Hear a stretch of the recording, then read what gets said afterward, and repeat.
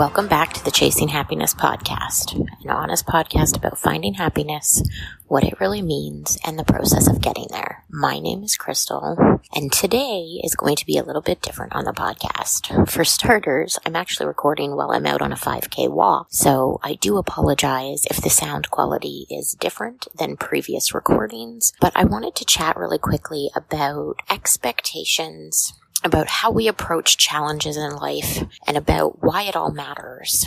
So, for those of you that don't follow on social media, I have been presented with an opportunity to relocate over the summer. The house that I rent, the landlords have decided to sell, and the maximum closing that I'll end up getting is 90 days. It may be much quicker than that, which I hadn't planned on moving over the summer and I'm not entirely sure how I'm going to do it or where I'm going to go or what exactly is happening. But my expectation was to stay in this particular property for about a year before I relocated. And when the landlords approached me and told me they were going to sell, I immediately had a moment, as we typically do, of panic of what am I going to do? How am I going to do this? You know, what does it all mean, so to speak? And I realized in that moment that how I chose to approach this, how I chose to look at this was going to sort of determine what the outcome was. So I have decided to take this as an adventure and a sign from the universe that it's time to move on. And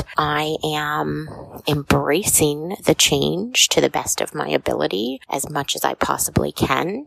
So for me, what that means is looking at my perspective, how I'm approaching things, understanding that there may be a bigger plan at play here that may turn out for the better, even though I don't know or understand what that is. And I think this is something that can be relevant to all of us in life because we face challenges regularly, unexpected challenges that we don't always know how to handle or deal with and how we approach them how we choose to process that, those things determine what the outcome ultimately is. This could be a horrible experience if I continue to look at it like, what am I going to do? How am I going to manage this? Where am I going to go? And the experience of having to go through this, excuse me, for the next couple of months could be more than just challenging.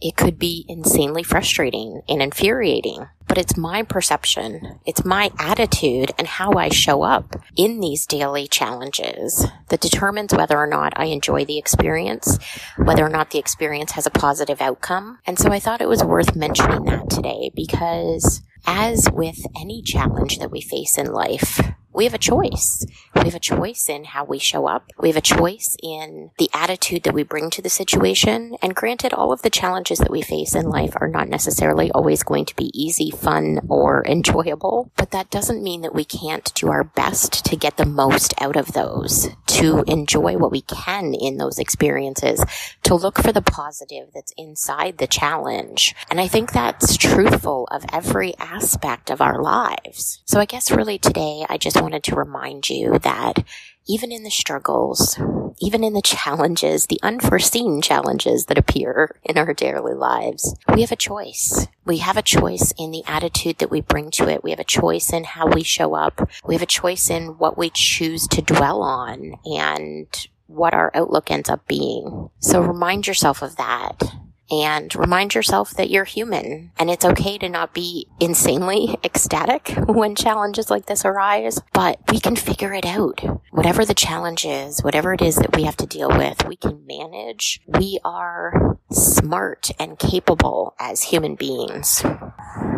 So remind yourself of that the next time you face an unexpected challenge that causes you stress and concern. Remind yourself of just how brilliant you are and it's getting a little windy now, so I apologize if you guys can only hear the wind, but remind yourself of how capable you are and take a deep breath and know that whatever is happening, the universe has a plan and you may not know or understand where it's leading you, but whatever is happening to you, it's happening for the best possible reason, even if you don't understand it at the time.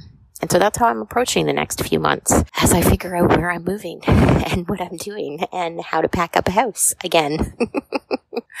so I hope you guys are having a great week. I hope you have a wonderful week actually because it's supposed to be gorgeous summer weather this week. for most of North America. I have a fantastic interview coming at you guys next week. I cannot wait to share it with you. And I am sending you love and light. And I will chat with you guys next week. Remember, you're absolutely capable of whatever challenges you face. Love and light.